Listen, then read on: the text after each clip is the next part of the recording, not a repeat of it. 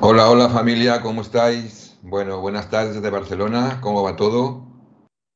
¿Cómo estáis? ¿Cómo, cómo os encontráis? Yo espero que estéis bien.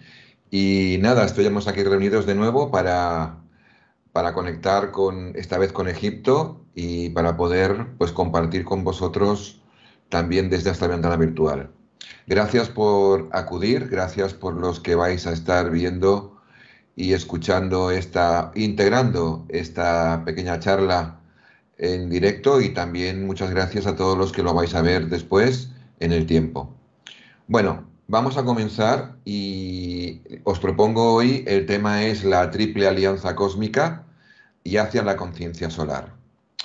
Bueno, eh, Vamos a comenzar por el principio, vamos a comenzar cuando la Atlántida cae, cuando la Atlántida desaparece en ese, en ese cuarto sol, en ese cuarto proyecto, y en los albores de la nueva humanidad que empieza ese quinto sol, ese quinto proyecto, en donde el maestro Tot, junto a otros maestros atlantes y lemurianos, salen con el disco solar de la pirámide de Undal y van directamente a la pirámide gemela que estaba en Egipto.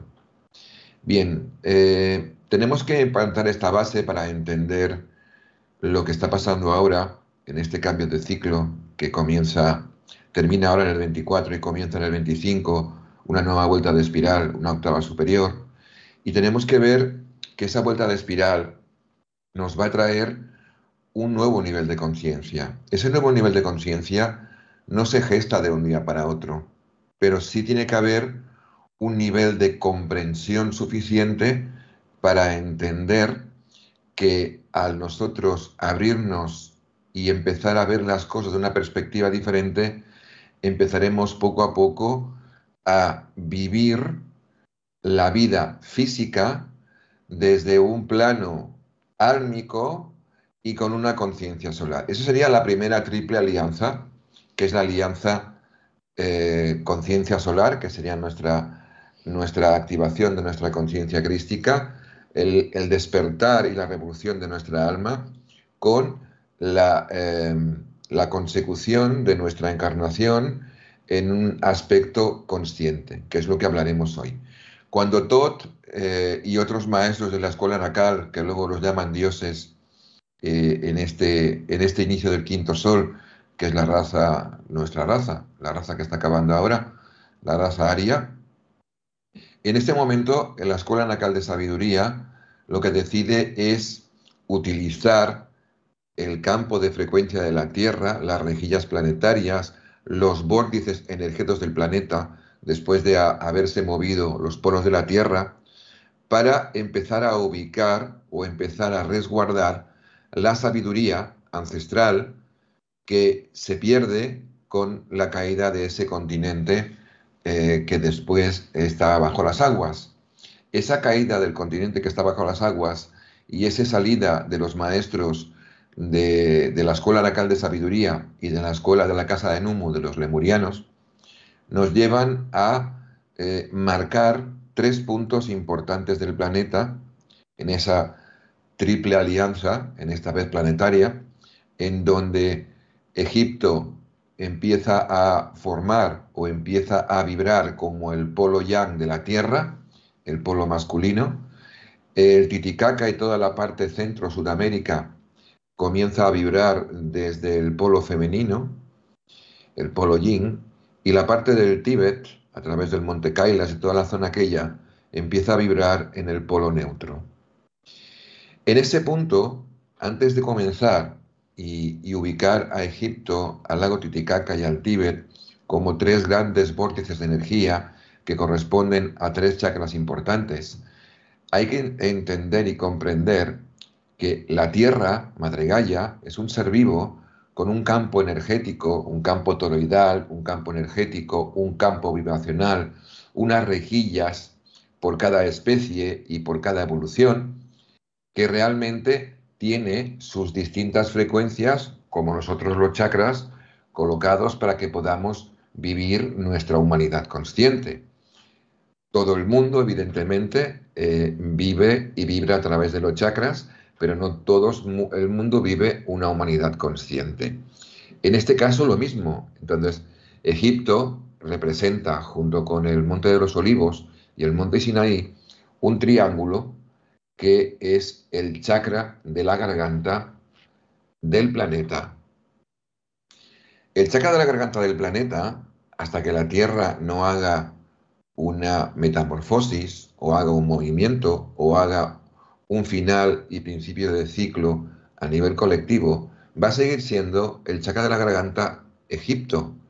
Y toda la energía que está eh, esencial, la esencial, la energía de base que está vibrando en el vórtice o los vórtices de Egipto, tanto en las pirámides, en la Esfinge como en todos sus templos, seguirá estando ahí. Es decir, nosotros, no, nosotros podemos desear que esta energía se mueva a otro lugar, porque somos de ese lugar y queremos llevar a Egipto a otro lugar.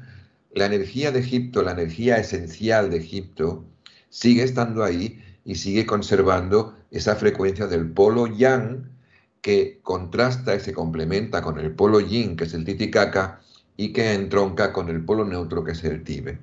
Y esa es la triple alianza planetaria, es decir, nosotros tenemos llegar a esa unidad, tenemos llegar a esa fusión a través de unir ese masculino sagrado con el femenino sagrado. En ese punto tenemos que entender que los chakras de la Tierra son los chakras de la Tierra. El cuarto chakra, que está en la zona de Glastonbury, está en el cuarto chakra, no se va a mover. ¿eh? Entonces, entendamos esto para entender un poquito lo que significa Egipto como vórtice energético esencial, ya luego lo que pasó después, eh, lo que se coloca encima del vórtice es una cosa superficial, pero lo esencial sigue estando ahí. ¿Por qué digo eso? Porque a veces, eh, con nuestro afán de querer sacar informaciones nuevas, estamos diciendo que si ahora la energía pasa a otro lado, Madre Tierra tiene sus chakras como nosotros, y estamos viviendo en un micro macrocosmos. Pero si somos conscientes que estamos en un micro macrocosmos, eso tiene, tenemos que entenderlo. Es como si ahora nosotros, imaginemos nosotros, que fuéramos como la Tierra, ¿no? Somos, nosotros somos un macrocosmos de nuestras células. Somos un macrocosmos de nuestros órganos. Somos un macrocosmos de nuestros sistemas, eh, el nervioso, el linfático. Bien. Ahora imaginaros que decimos, no, no, ahora la energía del corazón ha pasado al hígado y la energía del hígado ha pasado al corazón. ¿Verdad que nos haría reír? La energía del, del hígado está haciendo que yo pueda vivir haciendo su función. La energía del corazón está haciendo que yo pueda vivir haciendo su función. Y cada órgano y cada célula está emitiendo su energía. La energía del pie no se va a desplazar al hombro, mira, del hombro se va a desplazar el pie. Con lo cual nosotros tenemos como micro macrocosmos que tener esa base. La energía de Egipto está vibrando en un vórtice energético importante en el polo yang de la Tierra y corresponde, en este caso, al quinto chakra planetario, que es el chakra que ahora se está abriendo a la comunicación.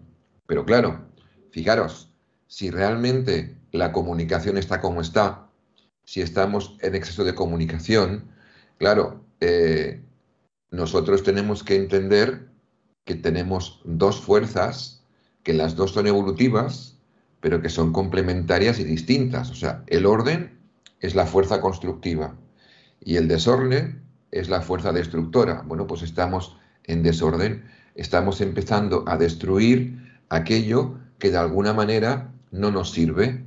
Claro, para empezar a construir tenemos que destruir y para destruir hay que empezar a discernir qué es lo que tenemos que destruir. Y eso es donde em, tenemos que empezar nosotros a vivir la experiencia de volver a nuestra esencia, volver a nuestra raíz ancestral y entender que el conocimiento se nos dará cuando seamos responsables y merecedores de ese conocimiento. Es decir, la sabiduría y el conocimiento a través de los tiempos ha ido subiendo y bajando, subiendo y bajando, depende del nivel de conciencia del ser humano.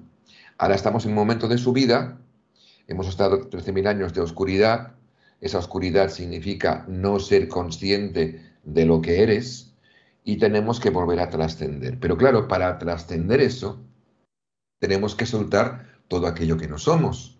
Tenemos que soltar toda esa apariencia, todo ese miedo, toda esa falta de fe, todo e, ese miedo que hemos tenido durante tanto y tanto tiempo, hay que soltarlo. ¿Y qué ocurre?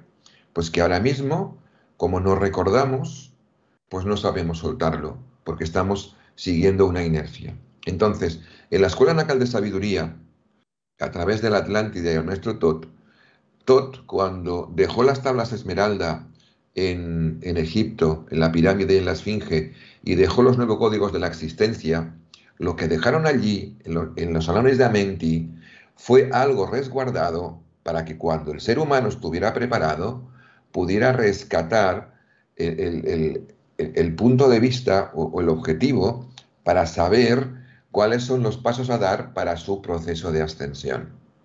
Y eso es lo que está pasando en este momento. Estamos en proceso de ascensión. ¿Qué nos dice eh, Tot? Y esto es muy importante para tenerlo en cuenta como la estrella polar, nuestro objetivo. Este conocimiento, habla del conocimiento que de alguna manera se nos está dando, ya les fue dado en Lemuria y la Atlántida debido a la codicia y a la ambición. Ustedes lo perdieron en la oscuridad de sus mentes. Bien, la codicia y la ambición son dos emociones son dos eh, proyecciones que de alguna manera indican miedo, que indican ignorancia, porque el miedo es ignorancia y la inversa. En ese punto es importante entender que se nos vuelve a dar el conocimiento, pero tenemos que trabajar para transformar esa codicia, esa ambición y esas mentes oscuras en luz. Y para eso solamente tenemos que hacer de empezar a entender lo que todos los maestros durante todos los tiempos nos han llegado a, o han llegado a intentar que entendiéramos, que es que el paso de nuestra humanidad inconsciente a nuestra humanidad consciente y a esa humanidad creadora consciente que luego hablaremos, es la conciencia solar. Y para llegar a la conciencia solar, primero tenemos que llegar a la conciencia crística. Es decir, la triple, eh, la triple alianza en el planeta es que yo deje de sobrevivir para empezar a vivir en mi personalidad y ahí entre en el ser humano creador consciente, conectando con mi alma en conciencia crística y a través de ahí pueda conectar con mi conciencia solar. En ese punto, cuando yo conecto con mi conciencia solar, en ese punto es cuando empiezo poco a poco a conectar con mi ser cósmico, con mi esencia cósmica.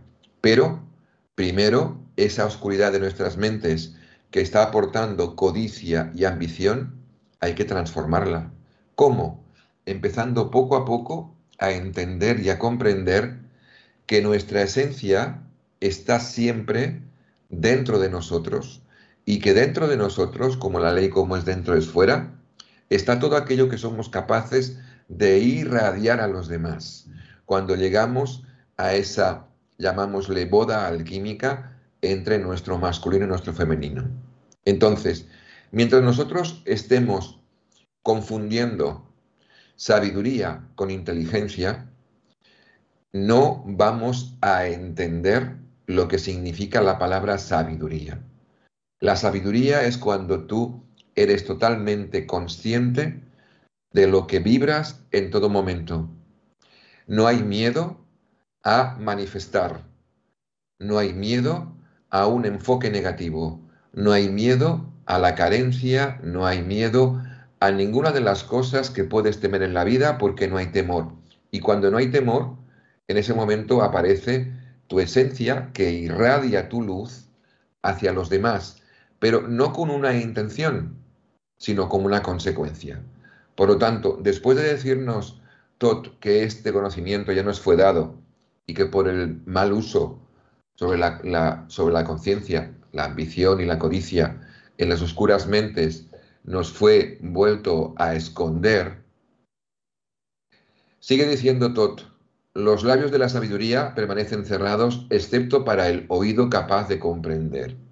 Y ahí tendríamos que diferenciar entre escuchar y oír y entre hablar conscientemente y no entender que la palabra es poder. Ahí está Egipto, esa comunicación sagrada, esa comunicación del expresar en la palabra sagrada y la capacidad de escuchar más allá de lo que tú oyes en una, una profundidad en la que nosotros vamos a entender y a comprender las cosas de una manera distinta.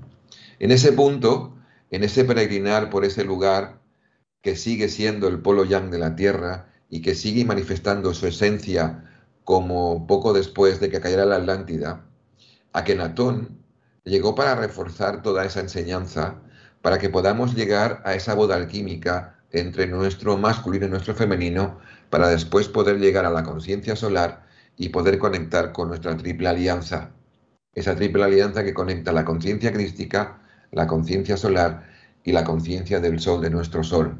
Como le llamaba Kenatón, Atón es mi padre y el padre de mi padre es el sol que está en el centro de la galaxia.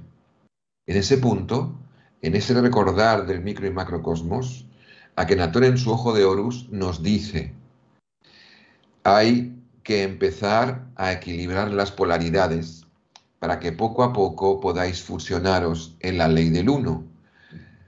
La ley, esa ley que nos lleva a la conciencia solar, es la ley de la unidad, la ley del uno. Pero para entender eso, primero tenemos que entender lo que trabaja nuestro ojo derecho de Horus, y lo que trabaja nuestro ojo izquierdo de Horus.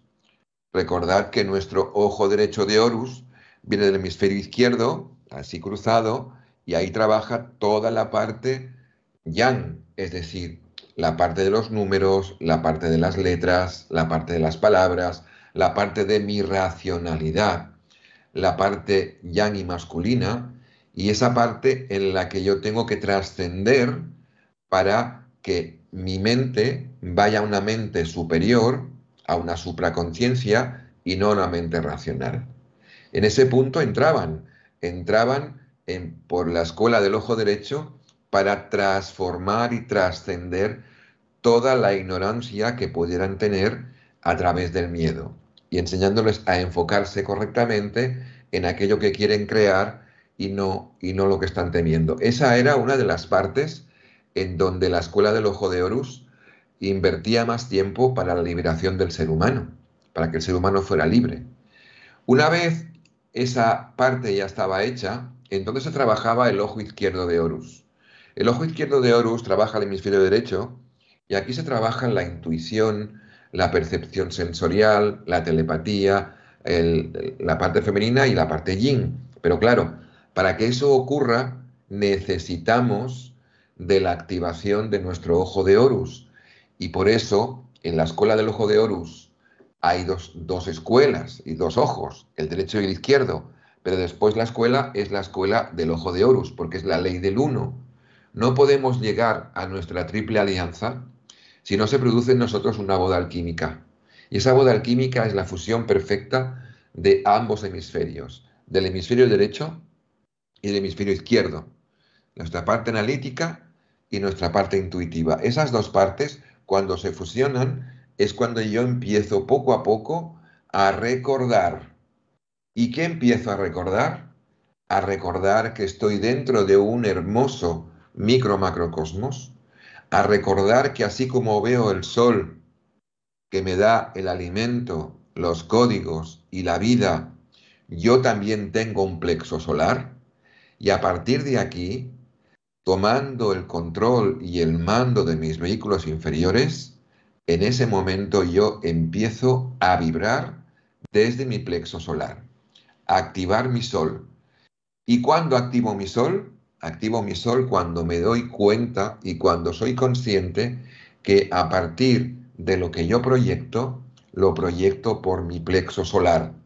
El sol, cuando lo ves, irradia. Y detrás del sol ese que ves, hay una conciencia llamada Atón, por Akenatón. Y Atón es la conciencia solar que te está mostrando cuál es tu futuro en un, en este caso, como tu microcosmos.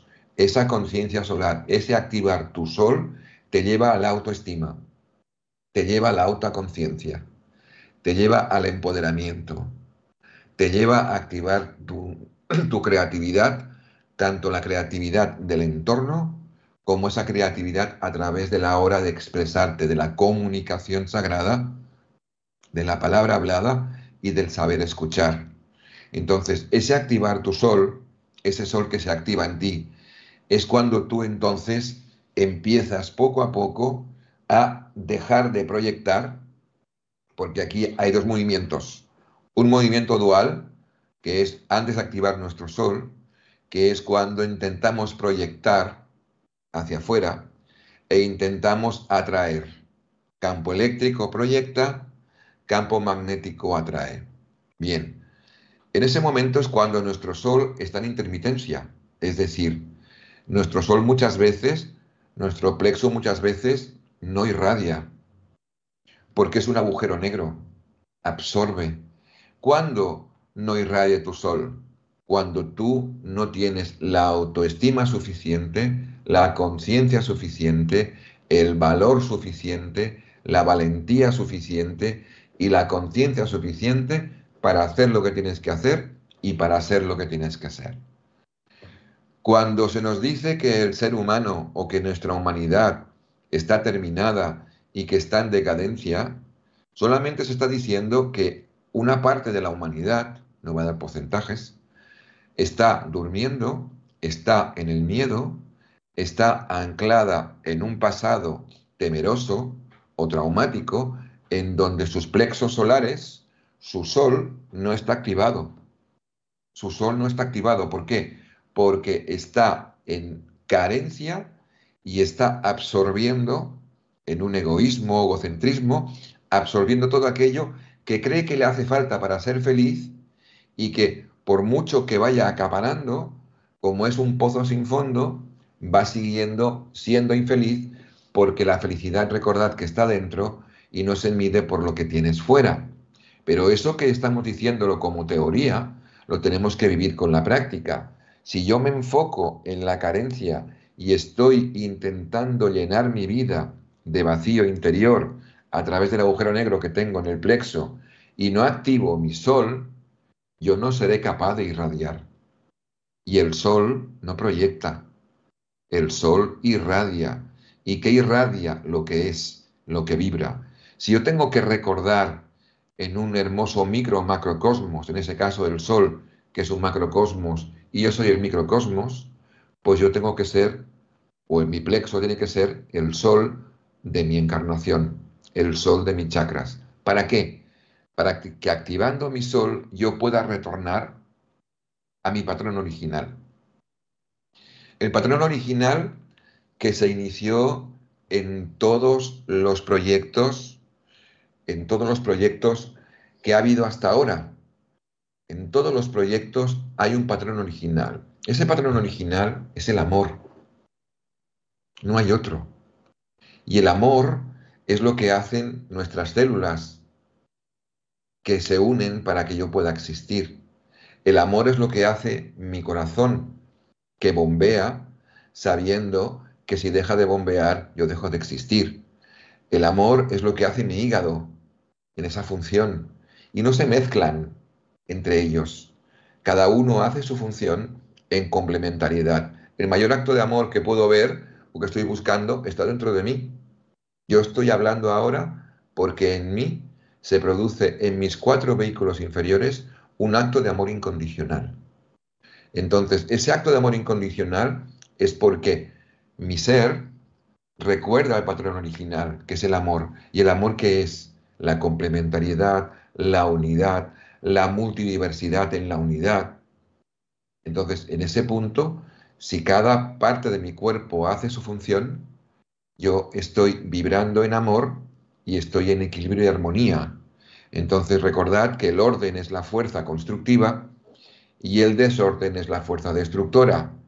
Esas dos fuerzas se van acoplando una a la otra. Cuando yo tengo una noche oscura del alma, las fuerzas destructoras transforman todo aquello que ya no me vale para depurarlo y armonizarlo hacia otro nivel de conciencia.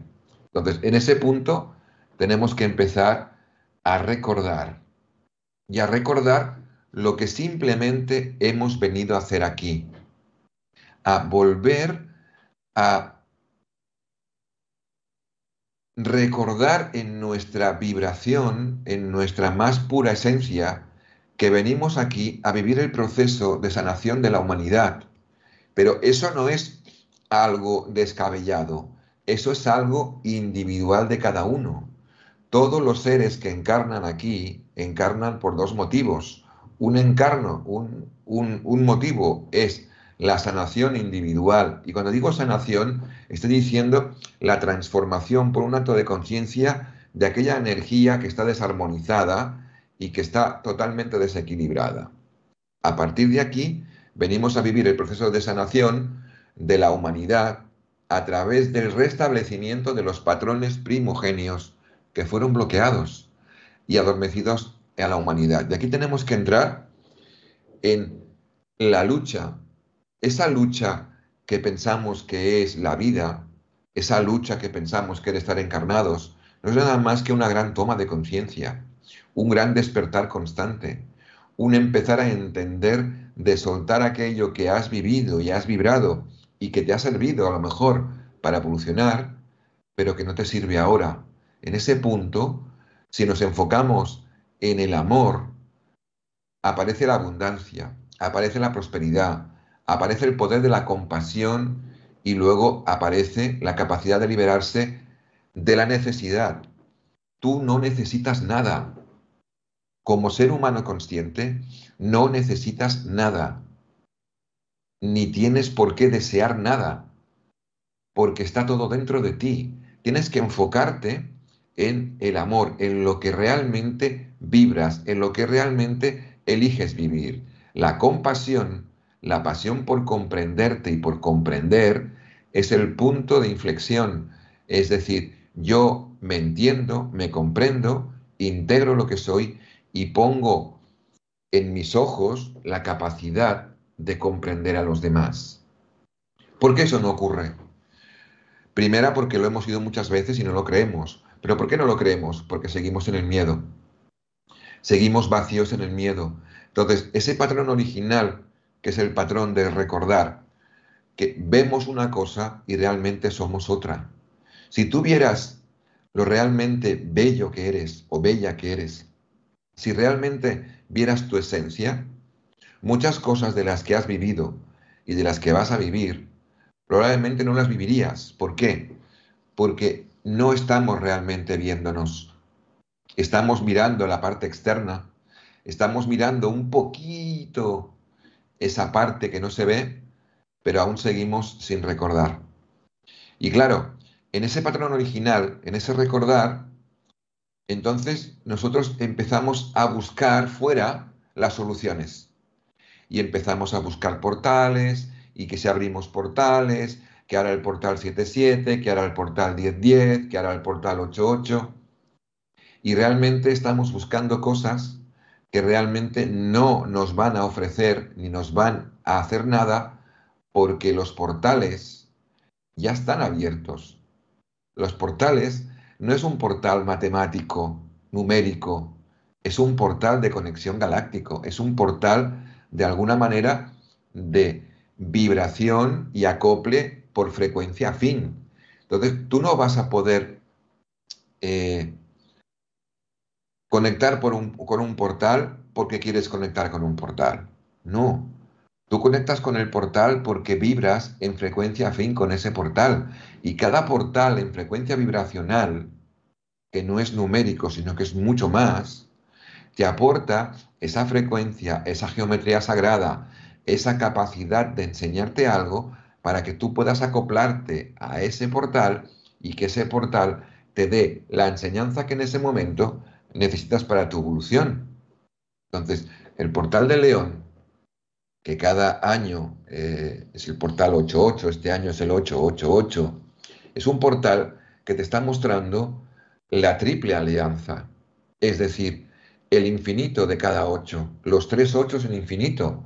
Tienes que lograr empezar a, atreverte, en este caso es un portal de conexión galáctico siriano, que ese portal no se activa con, eh, con el querer, sino por un acoplamiento de tu conciencia. Entonces, para llegar a acoplarnos a través de las rejillas planetarias y a través de la geometría sagrada y los portales, tenemos que empezar a vibrar distinto.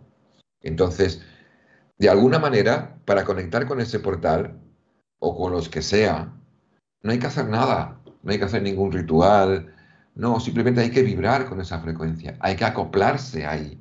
Entonces, de alguna manera, esas rejillas estelares, esas rejillas planetarias, que de alguna manera nos pueden hacer conectarnos con otras realidades, con otras circunstancias, con otras dimensiones, tienen que acogerse desde la conciencia, no desde el desear, querer, desde el misterio. No hay misterio.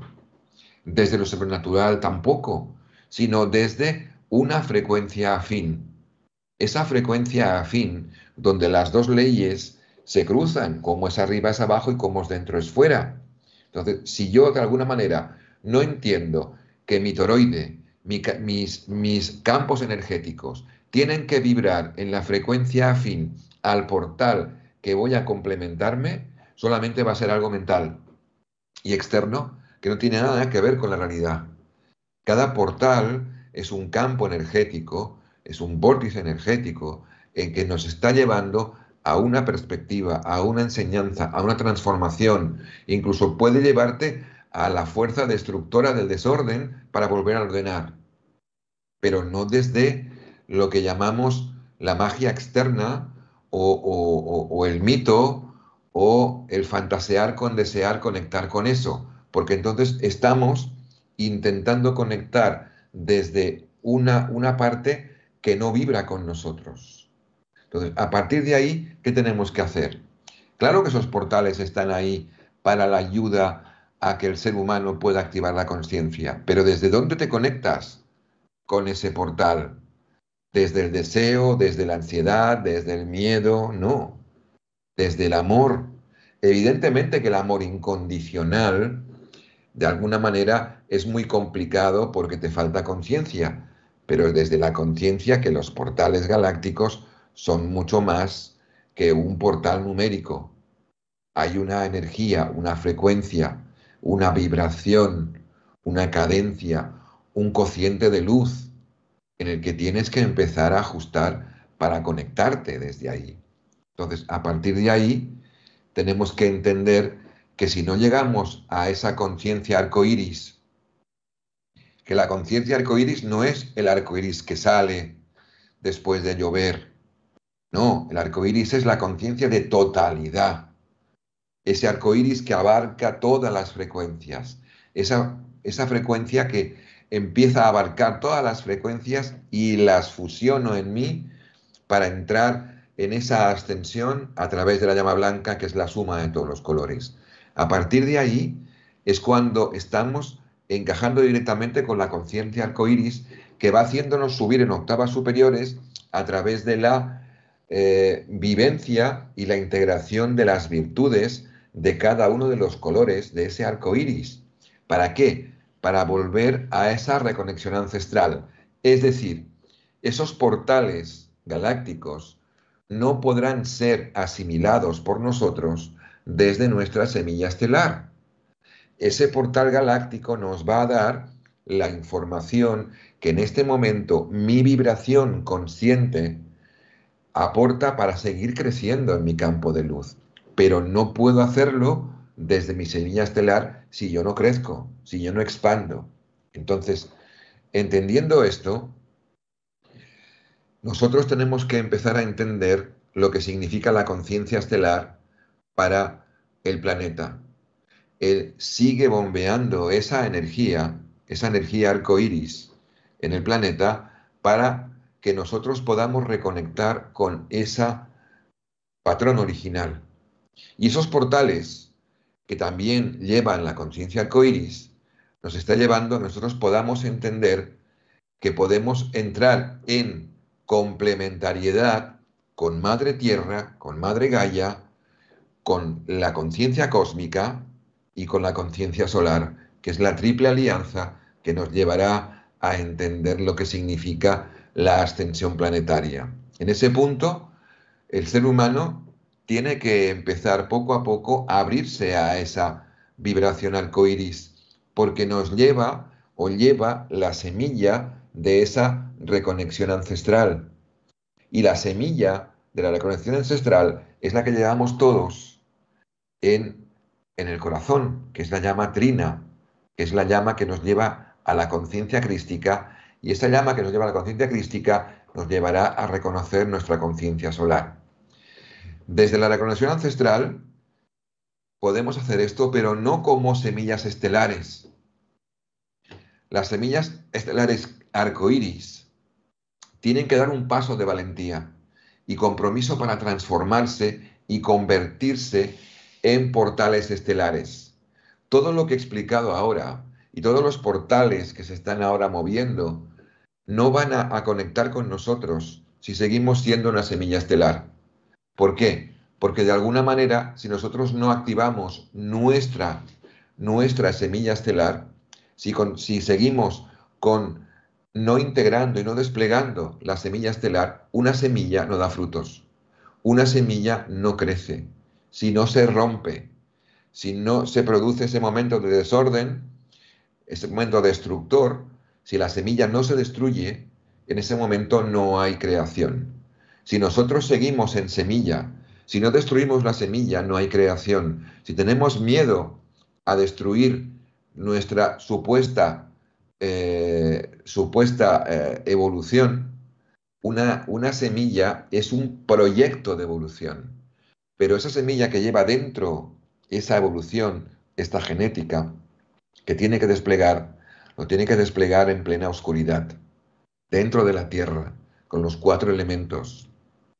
Si seguimos siendo semillas estelares, con mucha información aquí, temerosos, y totalmente polarizados en la razón, no podremos ni vivir los portales estelares, ni vivir proceso de ascensión, ni desplegar nuestro portal cósmico, ni poder entender lo que significa la evolución en la Tierra.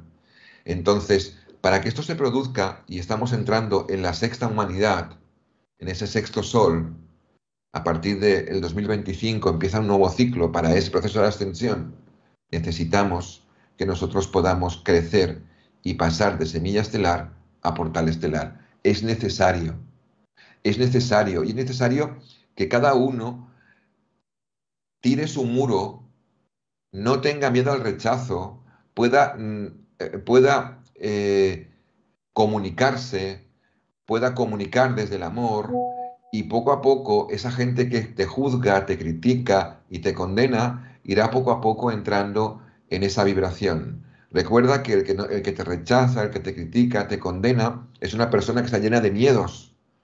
¿Eh? Esos miedos hacen que se autoprotejan en vez de abrirse a encontrar aquello que en este momento eligen vivir. Se abren para necesitar y la necesidad es el, el alimento del miedo. Entonces, a partir de ahí, rompemos la semilla, salimos con nuestra mejor versión, salimos con esa versión imperfecta nuestra, evidentemente que sí, porque estamos en un mundo imperfecto hacia la perfección, y a través de ensayo y error vamos construyendo nuestro portal estelar. Vamos activando nuestra glándula pineal, que nos va a liberar, porque ahora mismo en la gran lucha, que no es la palabra, está en la glándula pineal.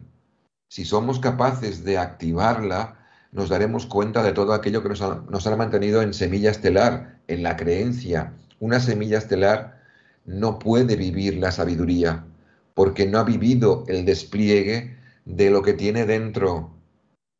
Y recuerda cómo es dentro es fuera. Si ahora esa semilla estelar está ahí fuera, totalmente encerrada, lo que está dentro de la semilla no se va a desplegar. Vamos a desplegarlo. Cuando Jesús se, eh, se dirigió a todos nosotros en aquellos tiempos, estaba en semilla desplegada. Era el árbol para ver los frutos que podíamos dar. Y no lo entendimos. Es ahora que hay que romper la semilla estelar. Y en ese servicio están, no estamos solos, está el, triángulo sagrado, la jerarquía azul, la jerarquía blanca, la jerarquía roja, está el servicio de la familia cetácea, los cetáceos, que son realmente eh, los ángeles del mar, ¿no? Están aquellos que de alguna manera están custodiando eh, las rejillas planetarias.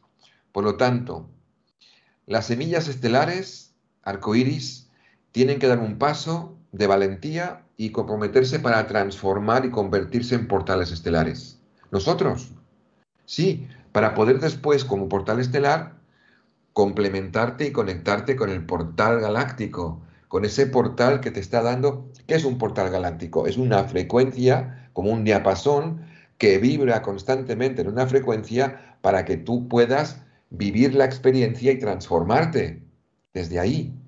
Entonces, los portales estelares no abren portales, se acoplan por, afinidad, por afinidad vibracional, a los portales planetarios del sistema solar, de la galaxia, los custodios y armonizadores de todo ello es la familia cetácea, son los delfines y las ballenas, que son los ángeles del mar, que llevan aquí. Los delfines llevan aquí 30 millones de años y las ballenas llevan aquí 60 millones de años ayudando simplemente a armonizar a través del elemento agua los campos energéticos de la Tierra. Entonces, a partir de aquí, es donde tenemos que entender cuál es nuestro grado de compromiso. ¿Cuál es nuestro grado de compromiso? Y ese compromiso, ¿cómo lo vas, cómo lo, cómo lo vas a asumir tú? ¿Cuánto tiempo vas a estar escuchando lo mismo hasta que no lo pongas en manifestación? No digo en práctica, en manifestación. Bueno, pues ahí estaban las enseñanzas de la escuela del ojo de Horus, que siguen trascendiendo en el tiempo y en el espacio hasta ahora. Entonces, siguiendo esa ley de cómo es dentro es fuera, la pineal, el ojo de Horus, que es la glándula pineal, juega un papel esencial en este momento, porque es momento de irradiar luz. Es momento de volver a la esencia, pero desde la conciencia, desde nuestra conciencia solar, a nuestra conciencia de ser. Allí está una de las, de, yo diría, las alianzas triples que nos están comprometiendo ahora a nuestra ascensión. Es decir, seres que irradian luz desde esencia, desde la conciencia solar que son, hasta tu conciencia de ser. Por eso, cuando hablamos de así como es dentro, es fuera, tenemos que, que, que activar o tenemos que ser almas valientes que irradien su luz aún en los momentos más hostiles, porque no depende del lugar donde estés Depende del lugar y de la conciencia, de la valentía que tú tengas para sostener e heredar la luz. En ese como es dentro es fuera. Como es dentro es fuera es la prueba de que nuestra semilla se ha roto y ya estamos desplegando el árbol. Entonces, en esa escuela de sabiduría del ojo de Horus es donde se explicaba y se volvía a recordar que es vital conectar con tu divina presencia yo soy, como es arriba, y conectar con tu personalidad consciente, tu conciencia de ser, como es abajo. En ese como es arriba es abajo, es primordial entender que cuando se activa arriba, entonces se activa dentro. Y en ese momento, cuando tú activas arriba, que es tu divina presencia yo soy, y activas dentro, que es tu conciencia crística manifestada a través de la llama trina, es cuando puedo conectar abajo y afuera. Resulta que arriba tu esencia está vibrando en tu parte femenina sagrada y tu parte interna también. Si tú conectas tu femenino sagrado y le das todo el poder y la luz, abajo que es masculino y afuera que es masculino, se manifiestan. Por eso, en la escuela del ojo de Horus se decía, se dice, la luz no lucha contra la oscuridad. Cuando la luz se manifiesta, la oscuridad desaparece. Palabras de Tot o de Hermes Trimegisto, que es el mismo ser, o en, o en Egipto o en Grecia. Entonces, en ese punto, siguiendo la ley de cómo dentro es fuera, tenemos una enseñanza que es una enseñanza que trasciende tiempo y espacio, que hoy no, no explicaré mucho porque lo voy a explicar el próximo jueves, que hay otra conferencia, que es la segunda parte de la que di sobre eh, la Atlántida y las Islas Canarias y el cristal del Teide. Eso lo explicaré un poco más detalladamente en, esta conferencia que va a ser el jueves a las 7, pero voy a dar una pincelada. Una de las cosas que nos lleva a poder conectar más con los portales de conciencia a través del sincronismo o a conectar con esta conciencia solar, con la conciencia crística y con nuestro alquimista interior es la cruz en el círculo. La cruz en el círculo es la unión de estos dos tiempos que se bien bien en, fuera de esta esfera el tiempo como lo conocemos no existe, el tiempo aquí llamado cronos, el tiempo cronológico, se une con el tiempo sagrado.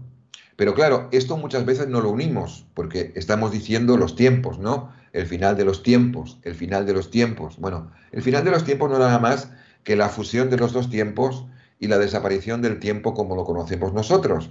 Pero aquí tenemos ahora dos tiempos en esta burbuja, que es el tiempo lineal y el tiempo sagrado. Y cuando se unen ambos es cuando se produce un momentum de luz, que es un momentum de luz en donde tú puedes estar en ese lugar aunque no estés físicamente. Y lo dejamos ahí porque esto va a ser una de las cosas que voy a explicar y su origen, donde me lo hicieron recordar en su momento en la conferencia del jueves, que estaré aquí sobre las 7 de la tarde para hablar sobre ese cristal arturiano, que es el cristal del Teide, y algunas informaciones más sobre los cristales de la península ibérica.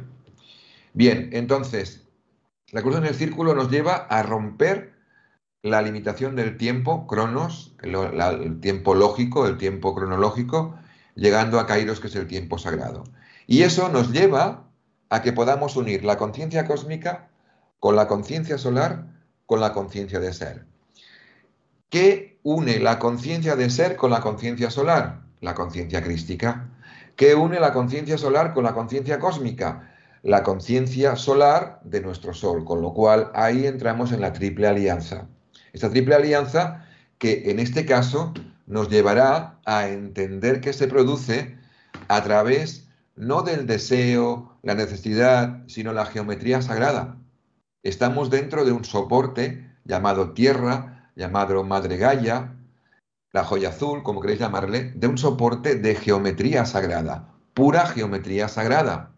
Entonces, lo que tenemos que entender es que si queremos explicar a través de la geometría sagrada el proceso de ascensión, como es un micro-macrocosmos, podemos entender lo que nos pasa en el microcosmos con el macrocosmos. Voy a explicarlo.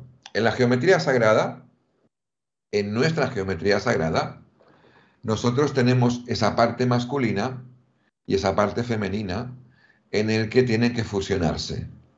Esa parte masculina y femenina que tienen que fusionarse, necesitamos la unidad. ¿Qué necesitamos? Salir de las polaridades para fusionarlos en algo que no es ni una cosa ni la otra, sino la suma de los dos. Cuando nuestro masculino sagrado, femenino sagrado, se fusionen, cuando nos dé permiso nuestra personalidad, nuestra parte masculina eh, material y femenina material, que no están armonizadas mm, se rindan y dejen el poder por amor a nuestro sagrado femenino y masculino, entraremos en la fusión de los dos y los dos van a desaparecer porque cuando se funden los dos en boda alquímica, desaparecen los dos para fusionarse en otra cosa. Es como cuando calentamos agua en el fuego y de la suma del agua y el fuego desaparecen los dos porque aparece el vapor de agua, ¿no? Pues lo mismo. Como esto lo he explicado en nosotros, en la Tierra. La Tierra ahora mismo está vibrando, está comenzando a ofrecer la vibración, la frecuencia llamada 33, la frecuencia de la conciencia crística.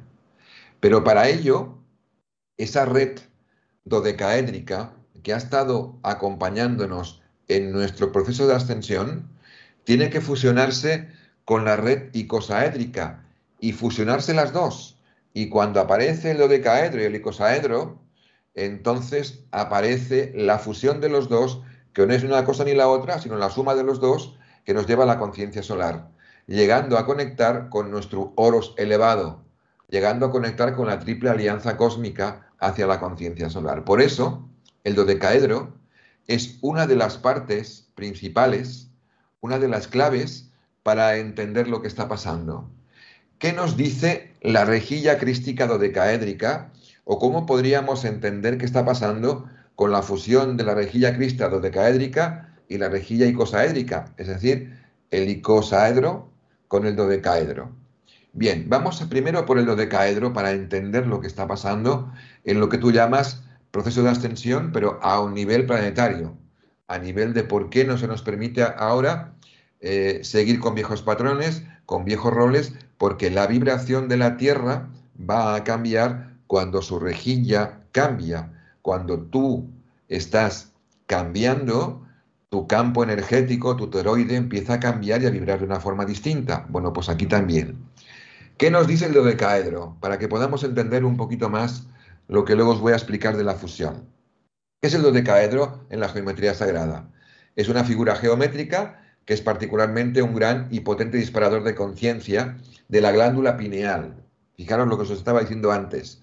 Estamos trabajando y esto, esta rejilla dodecaédrica, nos lleva a que podamos activar nuestra glándula pineal y que permite que la vibración se eleve a una dimensión más afinada y refinada con tu ser interno. O sea, la red dodecaédrica nos está ayudando a que podamos hacer ese proceso que acabo de explicar anteriormente desde la geometría sagrada. Es la red de conciencia que está rodeando al planeta y que le permite ascender de vibración de manera natural, dotándonos de la matriz del pensamiento sincrónico capaz de conectarnos con todos los seres de luz de distintos universos. El dodecaedro es el quinto elemento y la quinta esencia que nos conecta con el elemento éter. Bien, pues esto es lo que está pasando en la Tierra, que esta parte dodecaédrica, esa parte que nos lleva a esa conciencia, está activando todo lo que es divino, divino igual a luz, divino igual amor en nosotros. La red que ahora mismo se encuentra activada y rodeando nuestro planeta es la unión del icosaedro con el dodecaedro y tiene la particular acción de estimular nuestro hemisferio derecho del cerebro. La conjunción de ambas representa la posibilidad de poder ver esas otras realidades y como efecto está produciendo el colapso del tiempo lineal de tercera dimensión, cosa natural para que estas posibilidades reales se den. Es lo que estaba explicando de Cronos y Kairos. Esto lo está haciendo no la humanidad, sino la humanidad junto con el planeta en la vibración afín. De este modo, se puede sentir mucho más la proximidad de esta cuarta dimensión y de ese lapso del tiempo que los mayas denominaron el tiempo del no tiempo, que estamos viviendo ahora mismo hasta llegar de lleno coexistiendo en la cuarta dimensión donde la ciencia del corazón y la conciencia van de la mano. Ahí es donde, esto es un resumen de todo lo que he explicado anteriormente para que lo que tengáis claro el por qué está ocurriendo esto y por qué la triple alianza. El dodecaedro es la geometría de la nueva era. La clave de esto es que su geometría se asocia a la red de conciencia que rodea el planeta esta quinta dimensión tiene estructura dodecaédrica y es igualmente relacionada a la matriz del pensamiento sincrónico, así como la geometría geodésica perteneciente a la también rejilla cristalina trinitaria, 3 en 1, dodecaedro e icosaedro, denominado sistema de rejilla 144. Todos aquellos individuos cuya voluntad sea romper con estos viejos grilletes y expresar el conocimiento obtenido debido al contraste de la dualidad contradictoria de la cual han sido partícipes, verán sintonizada su multidimensionalidad con las energías del elemento agua y la luz pura del icosaedro y el dodecaedro. Elemento agua, icosaedro, luz pura, dodecaedro. Luz golpeando agua, luz golpeando agua. Dos dimensiones que se funden para dar paso a una nueva realidad donde la percepción consciente del tiempo como unidad de medida se transforma en una unidad de total, totalidad expresa. Esto es lo que he explicado yo del, del tiempo y es una explicación de geometría sagrada para que entendáis cómo todo encaja en un micro macrocosmos, ¿de acuerdo? En ese punto ahora vamos a conectar un poquito con lo que significa el icosaedro para que veáis ambas cosas. El icosaedro, que son 20 eh, triangulitos en redonda, ¿vale? Entonces, ese icosaedro, así como los dodecaedros son 12 pentágonos y está vibrando en la frecuencia del 12, el icosaedro está en la frecuencia del 20. Entonces, uno es femenino, otro es masculino y la suma de los dos es el 32. El 32, junto a la esfera que los une, es la frecuencia 33. En ese punto, el icosaedro es uno de los sólidos platónicos base de nuestros domos geodésicos. Se asocia al elemento agua, lo que nos permite reconocer sus características principales más fácilmente, puesto que el elemento agua es ampliamente conocida. Está formado por 20 caras triangulares iguales, en lo que se refiere a un simbolista y, afectación energética de los seres humanos, representa el fluir, la intuición, el subconsciente, la alquimia, lo receptivo, es emoción, sentimiento, confianza, capacidad para dar y recibir. Favorece el flujo energético, la sanación y la estabilidad emocional, limpia y purifica. El agua es el alimento de la vida. Son moléculas, son, son sensibles a las emociones que les rodean, tomando preciosas formas ante el amor, la paz, la armonía, tal como nos muestran los estudios de Masaru Emoto, como ya explicamos en la conferencia anterior que di el día 3. Entonces, todo eso es lo que está pasando en nosotros, en nuestro icosaedro y dodecaedro, en nosotros. Entonces, nuestros sentimientos son extremadamente importantes, nos afectan directamente a nosotros y a quienes nos rodean. Según los sentimientos que favorecemos, reconocemos y liberamos y se incrementa o se reduce nuestra energía, nuestra apertura y nuestra capacidad de comunicación. El icosaedro favorece la armonía, el amor verdadero y la conciencia crística. Ahí es donde tenemos que entender esa fusión del icosaedro con el dodecaedro.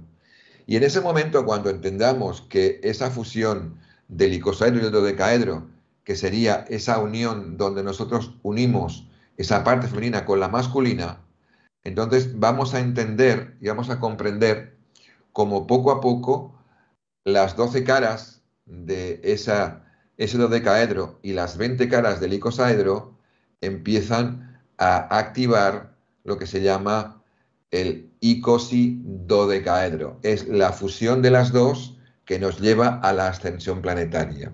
En ese punto tenemos que entender que nosotros tenemos que empezar poco a poco, no a abrir portales, sino empezar a acoplarnos como semillas estelares que somos a esos portales que realmente están llevándonos como portales estelares nosotros a llevarnos a la conciencia arcoíris.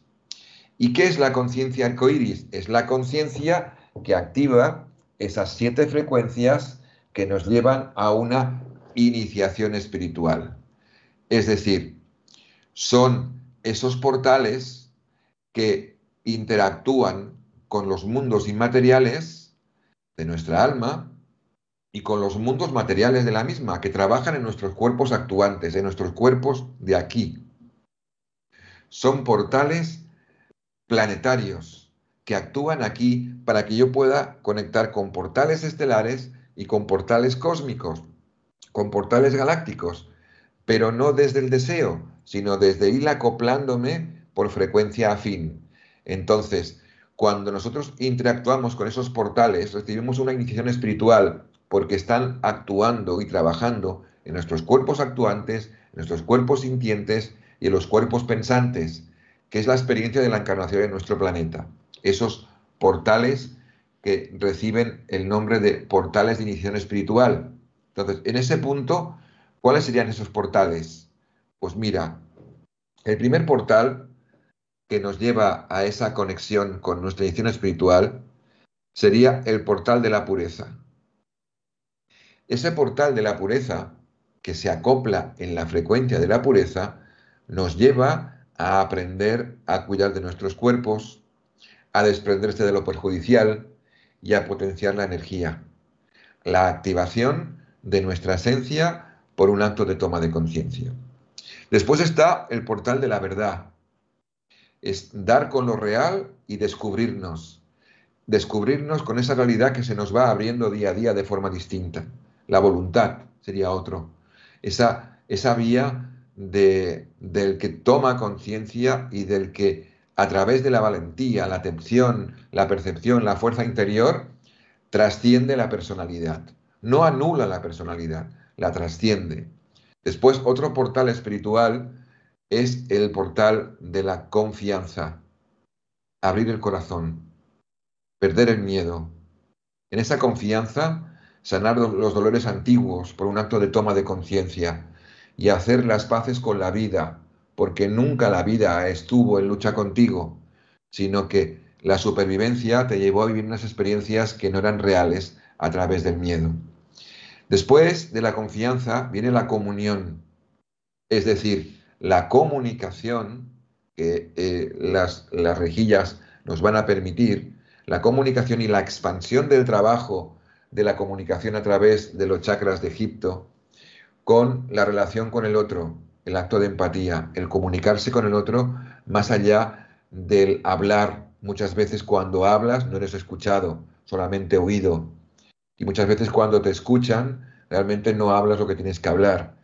ese hablar y ese recibir esa comunicación a través de la mirada, a través de los gestos, a través de unos actos, la comunicación, la relación con el otro, nos entrará en esa empatía que es la comunión. Y de la comunión viene la comunidad, la viene en común.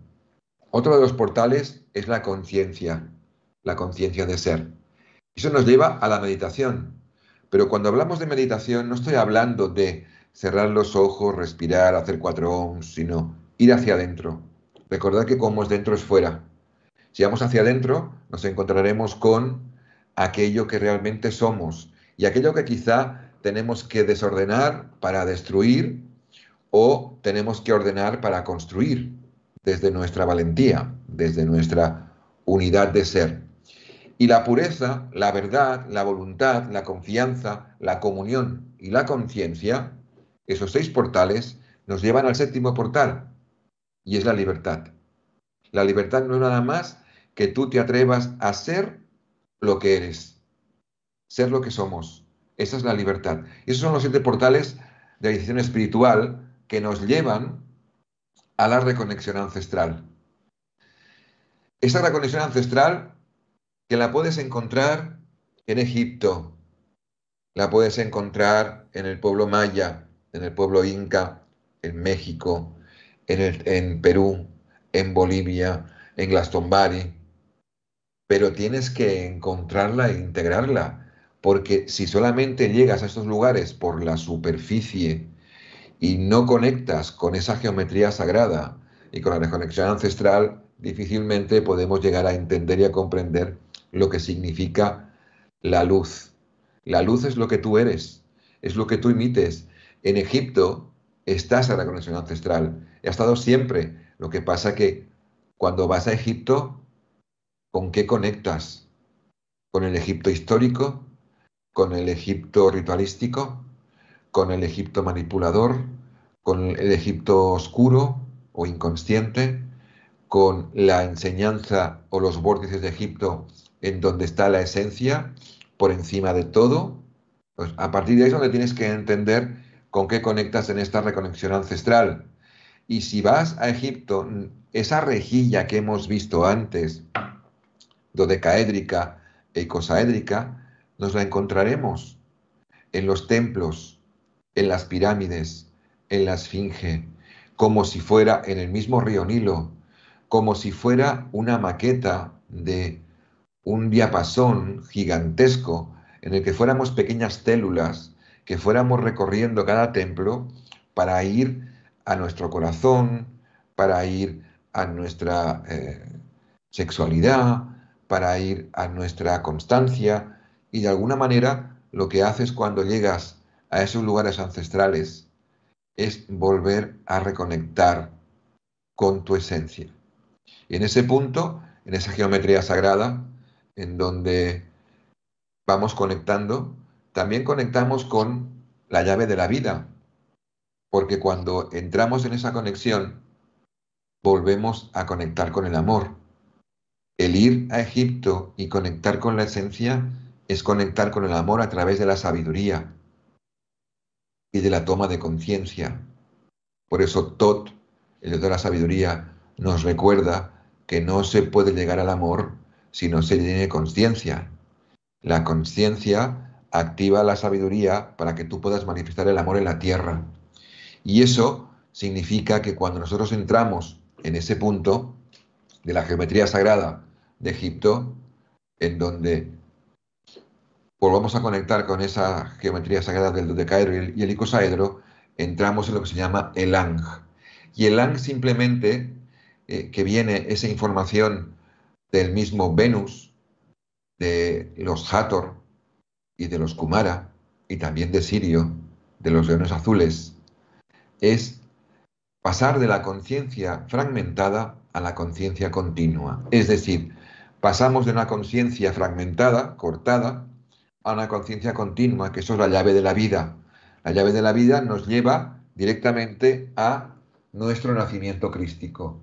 Y cuando llega el nacimiento crístico, es cuando podemos activar en nosotros la triple alianza.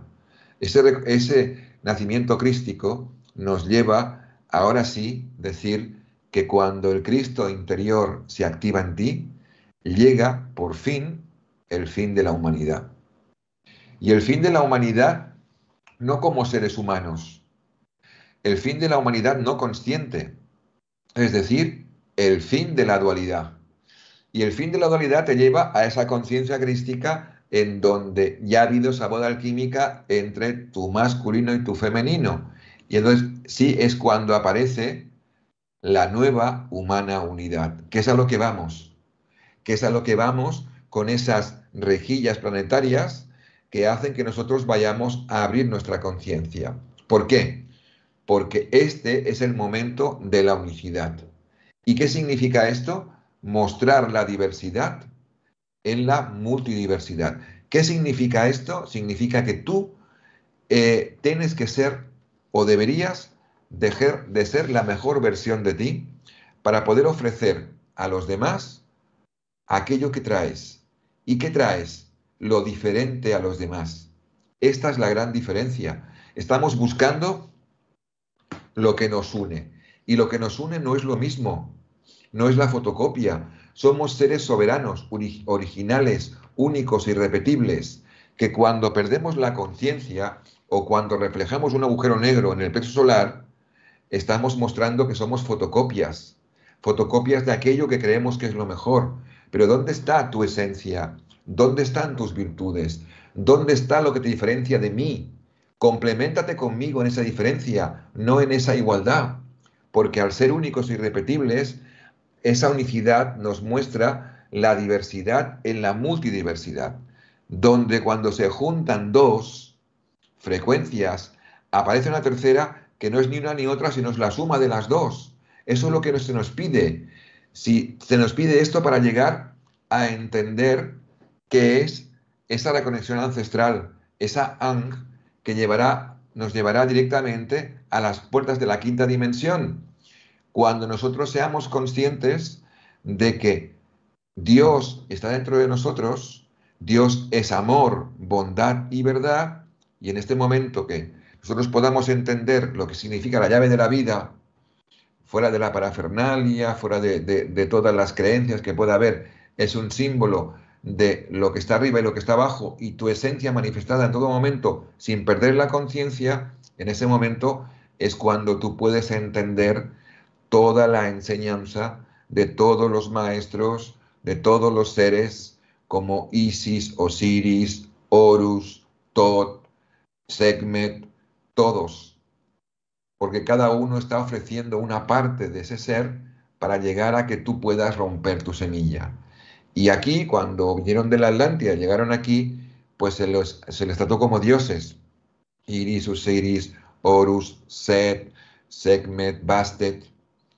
Pero eran conciencias que hacían, que vibraban en su esencia para que pudiéramos entender y comprender a dónde teníamos que llegar. Y Tot, en su sabiduría, es cuando dejó la sala de mentis resguardada para cuando el ser humano sea consciente, se recupere esa información para que no se vuelva a manipular, acordaros, a través de las mentes oscuras.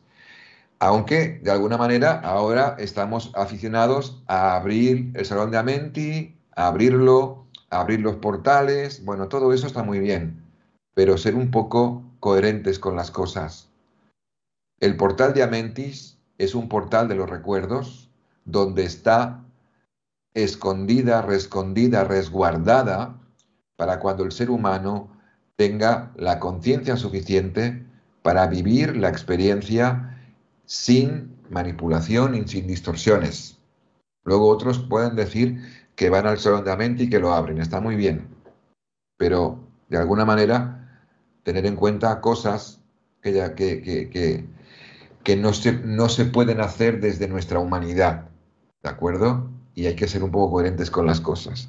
Bueno, esa reconexión ancestral nos lleva a vivir el qué? Vivir nuestra divinidad. Vivir la divinidad en nosotros es reconocer que somos dioses inconscientes en acción. Somos dioses semilla en acción. Y a partir de ahí tenemos que empezar a entender que esa parte de nuestra divinidad pasa por la creación, pasa por la creatividad, pasa por vivir la experiencia, pasa por equivocarse y vivir tu noche oscura del alma para transformarse cada vez en mayor ser consciente que irradia su luz. Entonces, ¿cómo haríamos todo eso? ¿Cómo podemos volver a conectar con nuestra esencia y ser valientes y atrevernos a hacer lo que tenemos que hacer sin miedo al rechazo, entendiendo que el amor es nuestra bandera, y que el amor no juzga ni critica ni condena. Porque recordad, cada vez que tú estés juzgando, criticando y condenando a través del miedo, te estás juzgando, condenando y criticando a ti mismo. Ese miedo al rechazo que nos impide vivir nuestra divinidad y ofrecer lo máximo a los demás de forma permanente y no intermitente, hace que poco a poco tú tengas miedo al rechazo, miedo a no ser aceptado y vayas poco a poco apagándote. No es momento de esto, es momento de vivir conscientemente, de una forma consciente, tus recuerdos ancestrales de esencia para vivir tu divinidad. Y en ese punto es cuando tienes que entender eso. ¿Y cómo lo haremos? Lo haremos si somos capaces de hacer aflorar en nosotros el poder la sabiduría y el amor a través de la luz que, anima nuestro ser. Si nosotros somos capaces de activar esas tres frecuencias en semilla que están en nuestra llama trina, que son el poder, la sabiduría y el amor, a través de la luz que anima nuestro ser, en ese momento podemos empezar a trascender nuestra conciencia de ser. ¿Y cómo lo haremos esto? Bueno, haremos esto entendiendo que el poder, que es nuestra llama azul de la llama trina, más la conciencia, que es nuestra sabiduría, nos lleva a manifestar el amor que somos.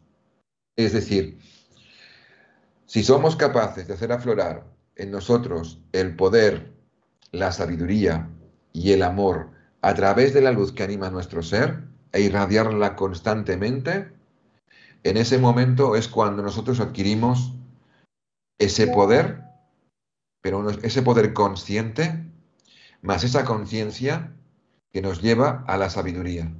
Y recordad que la ecuación de poder más sabiduría o poder más conciencia es igual amor. Y entonces, en ese momento, el mundo, tu mundo, lo tienes en la palma de la mano. Pero ¿por qué digo que el mundo lo tienes en la palma de la mano? Porque en ese momento has hecho lo que viniste a hacer y has sido lo que viniste a ser. Has dejado de estar por la vida y a través del poder, la conciencia y el amor empiezas poco a poco a manifestar la vida. Y de estar a manifestar viene de sobrevivir a vivir. Y esto viene de la ecuación del poder más conciencia igual al amor. ¿Y qué ocurre cuando hemos trabajado esa ecuación de poder, conciencia más amor?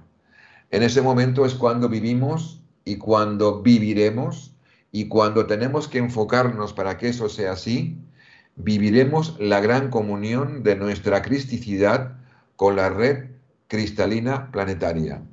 Esa es la gran comunión de nuestra cristicidad con la red cristalina planetaria, que es la fusión, acordaros, del icosaedro y el dodecaedro. Entonces es cuando llegará aquello que decimos la segunda llegada de Cristo a la tierra, ese momento en el que nosotros entramos en comunión de nuestra cristicidad con la red cristalina del planeta. Y eso es lo que provocará, o lo que está provocando, la triple alianza. La triple alianza aquí abajo, a través del triángulo sagrado, jerarquía azul, jerarquía blanca, jerarquía roja, y también la triple alianza ahí arriba, es decir, nuestra conciencia solar con nuestra conciencia galáctica y nuestra conciencia crística. Por eso, una de las enseñanzas que nos dieron los arturianos, que también explicaremos un poquito el próximo jueves, es la matriz pentagonal. Esa matriz pentagonal nos la dieron al principio para que empezáramos a activar esa parte pentagonal, esa parte femenina en nosotros, esa parte que nos lleva a ese ojo izquierdo de Horus, en donde trabajamos la intuición, y que nos lleva a entender y comprender la liberación del femenino sagrado para activar el masculino sagrado, en esa forma icosaédrica y dodecaédrica que ahora estamos entrando para llegar a nuestra ascensión planetaria. Para ello tenemos que elevarnos, y elevarnos quiere decir entrar en una nueva vuelta de espiral a una octava superior. En esa elevación, pues es toda la explicación que yo os he dado desde que he empezado hasta este momento. Entonces, ¿cuál sería nuestra labor o mi labor en este año de final de ciclo y preparándonos para un ciclo distinto? Vamos a un año más a ir a Egipto y os propongo un viaje, un viaje a través del alma, a través del el orus elevado, es decir, no verlo como el Dios, sino verlo como esa parte en donde conecta con la conciencia solar, esa parte que lo conecta con nuestra eh, visión del que todo lo ve, para activar nuestra glándula pineal. Y os propongo recorrer a través de este viaje, Horus el elevado, pues un viaje al sol central de tu yo cósmico, pues en todo lo que he explicado, pero puesto de manifiesto en los lugares esenciales de Egipto, que está ahí los patrones esenciales desde la caída adelante, y a partir de ahí, pues que nos acompañéis, si queréis, en esa maqueta, en ese patrón por tu ser, que es el río Nilo y todos los templos en donde vamos a ir conectando con una frecuencia y conectando con aquellas energías que te van a de alguna manera disponer o predisponer para que puedas vivir todo lo que te he estado explicando desde que empecé esta pequeña conferencia. A partir de aquí vamos a viajar por todos los lugares emblemáticos y he escogido seis templos para estar en privado, que no nos molesten eh, las personas que entren, sino que con el templo cerrado podamos estar ahí y viviendo la experiencia. Y el primer día es del 8 al 18 el viaje y os voy a explicar un poco, viene en relación a todo lo que hemos explicado aquí. El primer día, el día 18, vamos a salir de Barcelona hacia el Cairo y después vamos a ir del Cairo a Asuán, donde entraremos a bordo de, un, de, una motonave, de un barquito, un barco eh, llamado la Alhambra, y allí vamos a recorrer todo el Nilo con este hermoso barco. El segundo día vamos a estar, el primer, la primera escala que haremos será en Comombo. En Comombo tenemos que ahí trabajaremos el templo de la dualidad. Allí hablaremos del dios Sobek, que sería el dios de las sombras o de los miedos, y hablaremos de Tot y de los dos templos, como aquí veréis ahora, son dos templos en uno, uno de los templos de la escuela del ojo de Horus, donde se trabajaba, pues por un lado las sombras y por otro lado la sabiduría. Vamos a explicar eh, la conexión con nosotros, porque Egipto es un gran espejo de, de lo que nosotros somos y cómo nos movemos con conciencia para ver qué realmente está pasando en cada uno de los templos, que no son nada más que vibraciones distintas que o se acoplan o encajan o muchas veces también se rechazan. Vamos a ver el porqué de las cosas, ¿no?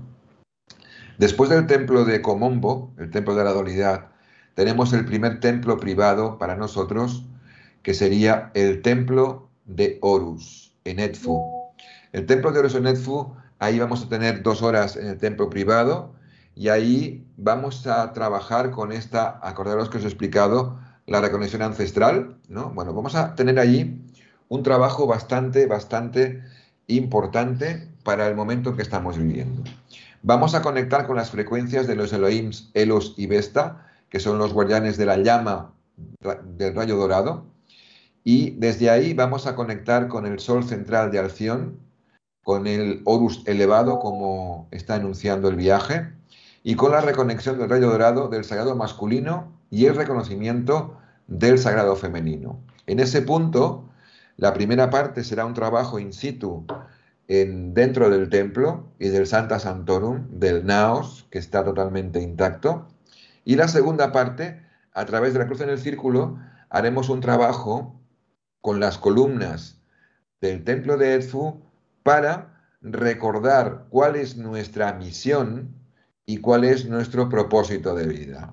Es decir, nuestro proyecto de vida tiene misión de vida y propósito de vida. Bueno, pues en el templo de Edfu, otra de las escuelas del ojo de Horus, vamos a explicar qué significa esto para volver a recordar aquello que olvidamos cuando, pues bueno, al nacer y al interponerse la mente, pues mm, nos despistamos y nos desviamos de nuestra esencia, nuestro propósito y nuestra misión de vida. En este punto, Repito, en esta reconexión ancestral en el templo de Edfu, vamos a trabajar con el Naos. El Naos, ahora lo veréis, es donde estaba la estatua de, Horus, en el Santa Santorum.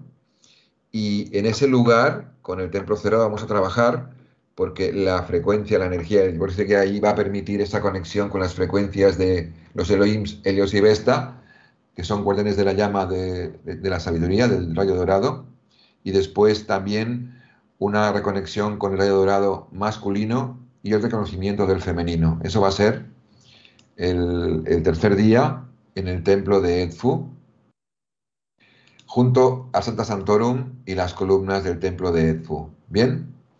Bueno, después, después del templo de Edfu, vamos a llegar a Luxor.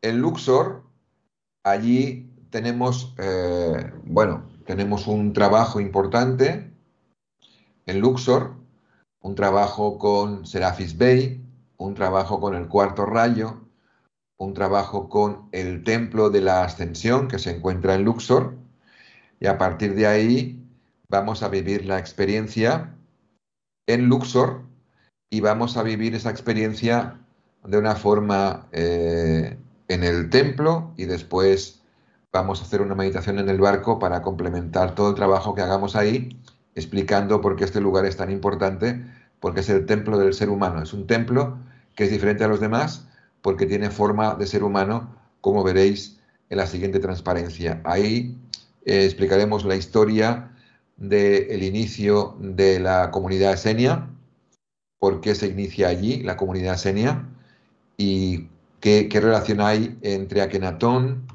entre Moisés, el templo de Luxor y el templo de Ávidos que veremos después.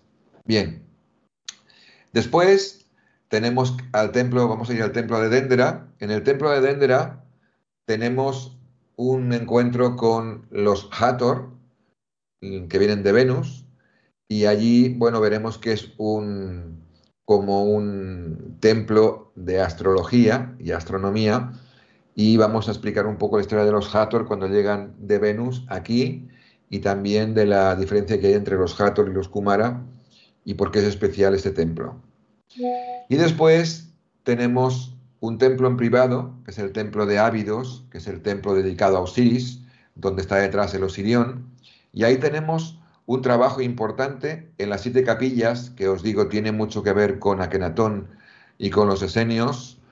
Ahí vamos a explicar un poquito el por qué es importante en, el Egipto antiguo el Osirión, que está detrás. Y en el templo de Osiris vamos a trabajar lo, que he explicado hoy, los siete aspectos del, alma, en ese punto cuando he explicado la iniciación de los siete eh, portales ¿eh? que os acordáis que he explicado de la verdad, la conciencia. Bueno, pues eso vamos a trabajar en cada una de las capillas del templo de Ávidos. Es un templo muy especial en donde vamos a vivir la experiencia durante dos horas y luego vamos a ir por detrás a ver el Osirión, que es donde se dice, en el, en el Egipto antiguo, era tan sagrado como la Meca, por ejemplo, para que lo entendáis, porque dicen que es donde estaba eh, enterrada la cabeza de Osiris. ¿vale? En el Egipto antiguo era muy, muy especial y muy conocido este lugar y está justamente detrás del templo de Ávidos. Bien, después de esta conexión con los siete aspectos de Osiris y Ra, que es lo que trabajaremos en la conciencia arcoíris en Ávidos, entonces vamos a vivir la experiencia en Karnak. En Karnak tenemos una cita una cita muy especial con la diosa Segmet. En Karnak es el lugar, recordad, que en Luxor hay dos templos, el templo de Karnak, que es un templo inmenso, la antigua Tebas, y el templo de Luxor, que es un templo más, pequeñito, que es donde está en quinta dimensión el templo de la ascensión de Serapis Bey, donde se hace el ritual de la conciencia o de la pureza de corazón, para ver si el alma es pura para seguir su evolución o tiene que volver a encarnar. En Karnak tenemos un santuario muy pequeñito que es el templo de Segmet. ¿Quién es Segmet? Bueno, ahí, ahí haremos un encuentro con la madre y con la energía femenina y a partir de ahí, a pocos metros del santuario de Karnak, ya puede advertirse que en su interior hay algo especial que lo convierte en un lugar extraordinario. Caminando entre los pilonos, y las estrechas puertas de este templo, puede percibirse la compasada respiración del animal a medida que se acerca, uno se acerca al resuello, se hace más audible y la adrenalina se dispara anunciando el momento del contacto. Los que habéis ido a ver a Segmet, un templo muy especial, muy pequeñito, sabéis de lo que estoy hablando. Es un lugar que cuando vas caminando y acercándote, pues ya vas viendo un poco y sintiendo esa sensación de de contundencia, ¿no? De, amor, pero a la vez de fuerza. Bueno, la fuerza de Segmet en el templo de Pitag está cubierto por el manto de oscuridad que cubre el Santa Santorum, el mismísimo umbral con el más allá, dirigiendo la mirada hacia la cámara lateral de que hay a la derecha, se puede sentir cómo se acelera el corazón bajo la mirada de la diosa. Es verdad, cuando entramos, el corazón se acelera y estás como una especie de expectación, euforia, alegría, es como una mezcla de varias cosas. Allí contemplando los majestuosos efigie de Segmet siluteada por un halo de luz que se escapa por el estrecho ventanal que tiene sobre su cabeza, se comprenden al instante los innumerables percepciones espirituales que levanta esta diosa, incluso miles de años después de que descendiera sobre la tierra. Bueno, e, es el, contacto con Segmet y el estar allí no se puede explicar. Es decir, los que habéis ido ya sabéis de lo que estoy hablando, pero los que no es que te sobrepasa. Te sobrepasa y no es una cuestión de creer. Eh, los guías también tienen mucho respeto porque han visto cosas, han sentido cosas que ellos no pueden evidentemente eh, entender ni comprender, pero realmente allí las veces que voy siempre, siempre es muy especial. La única verdad es que la imagen de la diosa Segmet sigue generando extraños estados alterados de conciencia en algunos sensitivos y eso es algo que nadie puede negar. Posiblemente la respuesta al enigma leonino permanezca oculto en algunos de los templos erigidos en honor de esta diosa hace miles de años, esperando que el secreto sea desvelado. Bien, pues antes de entrar al templo de Segmet, yo siempre les leo con mucho respeto un texto, un texto para que entren con la frecuencia correcta, que, cuenten, que, que entren con la energía adecuada. Y el texto dice así, solo te pido que entres en mi casa con respeto. Para servirte, no necesito tu devoción, sino tu sinceridad, ni tus creencias, sino tu sed de conocimiento. Entra con tus vicios, con tus miedos y tus odios, desde los más grandes hasta los más pequeños. Puedo ayudarte a disolverlos. Puedes mirarme y llamarme como hembra, como madre, como hija, como hermana, como amiga. Pero nunca me mires como una autoridad por encima de ti mismo. Si la devoción a un Dios cualquiera es mayor que la que tienes hacia el Dios que hay dentro de ti, les ofendes a ambos y ofendes al uno. Bueno, pues esta es la energía de Segmet es lo que estaba explicando del conocimiento interior, del ir hacia adentro en todo el momento de esta conferencia. Y después de este encuentro con Segmet, y después del trabajo que hemos hecho en todos los templos, entonces vamos a Abu Simbel. En Abu Simbel nos encontramos con dos templos. Y ahí es donde trabajamos lo que os he explicado al principio de esta, de esta conferencia, la ley del equilibrio y la polaridad. Esa ley donde nos lleva a entender cuál es la polaridad masculina, cuál es la femenina e intentar fusionarlas en nosotros. Bueno, pues ahí tenemos el templo masculino, el de Ramsés II, y luego tenemos a su lado el templo femenino, que es el de Nefertari. En Nefertari y Ramsés II están justamente en la frontera con el Sudán, en el lago Nasser, y ahí podemos explicar la enseñanza de la encarnación, la decisión a tomar, todo eso que nos lleva a iniciar un proceso como seres humanos masculinos, o, perdón, hombres, seres humanos mujeres. ¿De acuerdo? A partir de aquí vamos a entender por qué está ahí el templo dedicado a la dualidad y vamos a vivir la experiencia. Bueno, después de eso, después de este templo de la dualidad, nos vamos al templo de Isis, al templo de Philae. En el templo de Philae, en Isis, ahí vamos a, de alguna manera, a iniciar, a iniciar el trabajo que os dije que haríamos en el Teide, con el cristal arturiano. Es decir, allí se inicia una conexión con los Elohims vista y cristal, para la activación de la energía cósmica de la llama verde esmeralda, recibiendo a través de esta llama verde esmeralda la conexión con Isis, con María Magdalena, con Lady Portia y con Lady White.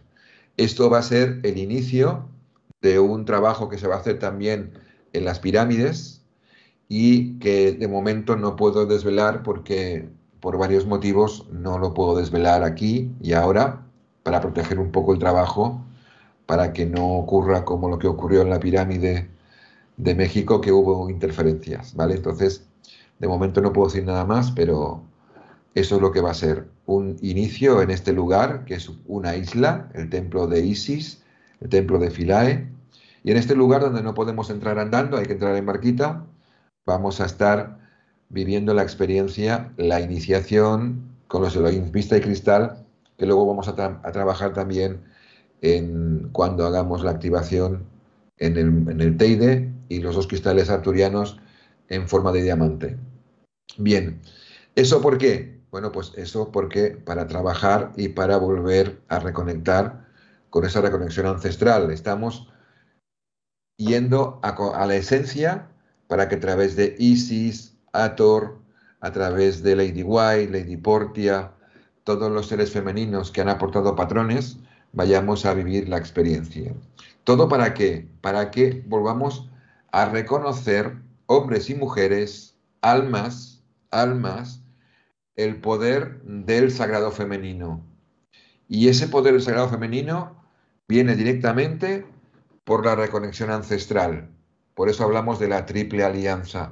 Y esa triple alianza nos lleva a la fusión del masculino con el femenino, en esa reconexión a través de esas dos partes, por esa llave de la vida, para poder llegar a la fusión del ser. Esa fusión del ser que nos llevará directamente a vivir conscientemente si es que lo podemos realizar, ese portal 888 que es el infinito, como es arriba es abajo, a nivel físico, a nivel mental, emocional y a nivel espiritual. En el momento en que hagamos la fusión con el ser, en ese momento es cuando podremos llegar al final del viaje a la pirámide de Keops. A la pirámide de Keops, que es la pirámide de la gran luz, donde os dije al principio de la conferencia que Tot en el disco solar salió de la isla de Undal con el disco solar y con los 133 maestros y llegó a la pirámide gemela, que es la pirámide de la gran luz, después llamada pirámide de Keops. Allí, en la pirámide de la gran luz, lo que haremos será vivir la experiencia dentro de la pirámide durante dos horas en esos lugares de conexión y ahí donde vamos a, hacer un trabajo con que va a continuar con ese trabajo que se hizo en la pirámide de Teotihuacán y que de alguna manera pudimos hacer con ayuda de los, de los guías y de los seres de luz.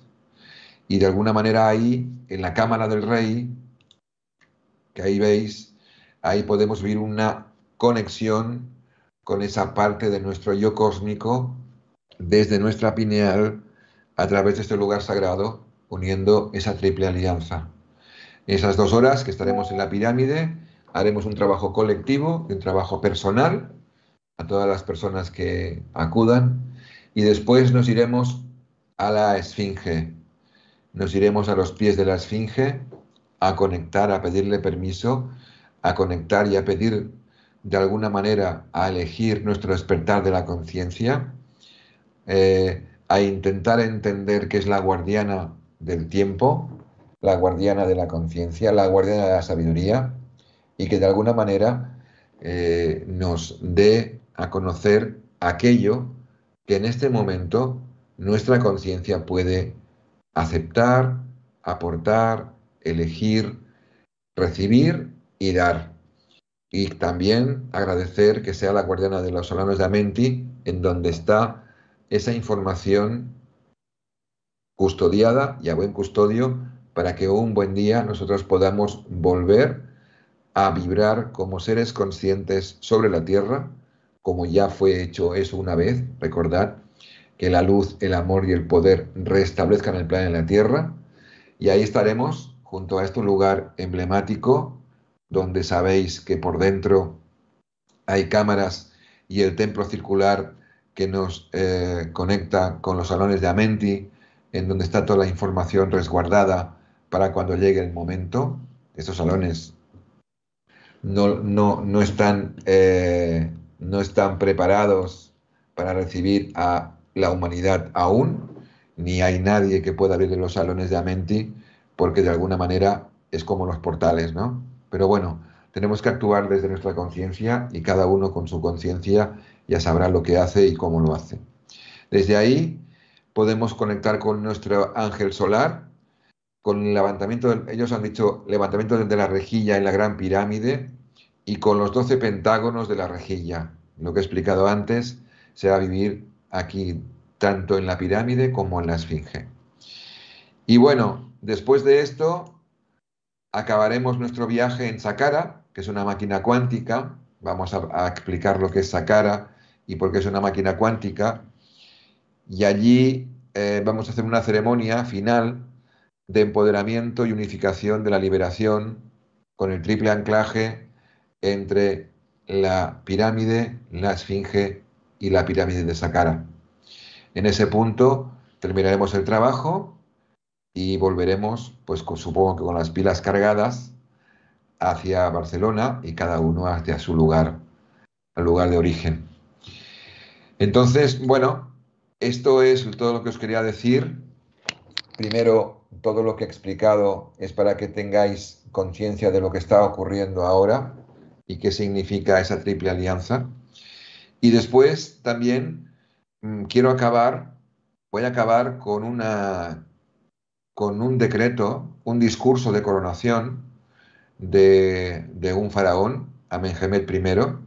El discurso es un poco el resumen de toda la conferencia hasta ahora, que se llama eh, Discurso de Coronación y está, eh, está, este discurso está hecho y está lanzado al mundo dos mil años antes de Jesús, es decir, casi tiene cuatro mil años, más de cuatro mil años, y dice, luchad por la felicidad como lucharon por el pan los hombres mediocres.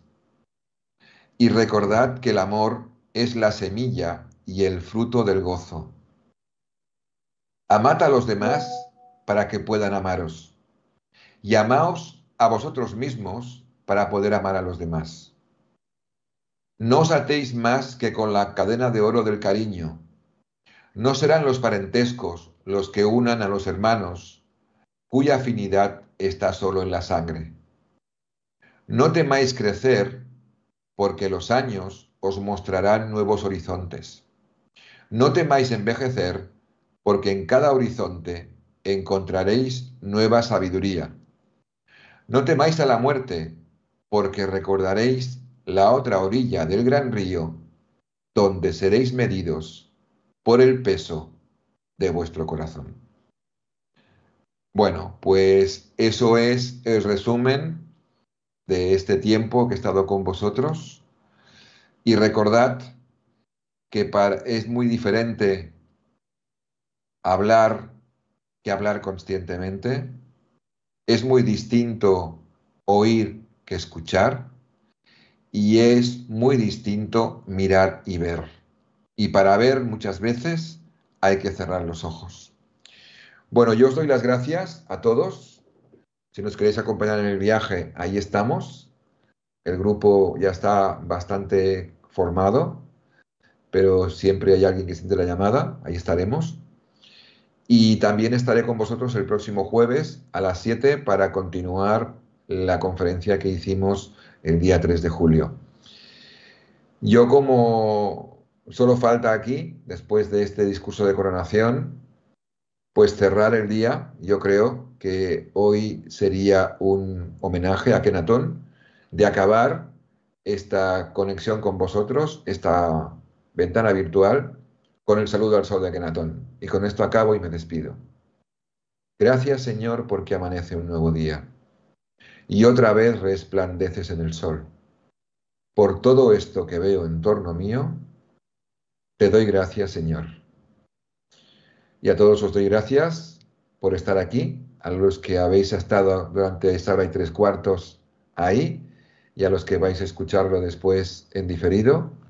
Gracias por todo, os amo y nos vemos en cualquier lugar, en cualquier punto del mundo o de nuevo el jueves en esta ventana virtual. Bendiciones. Hasta pronto.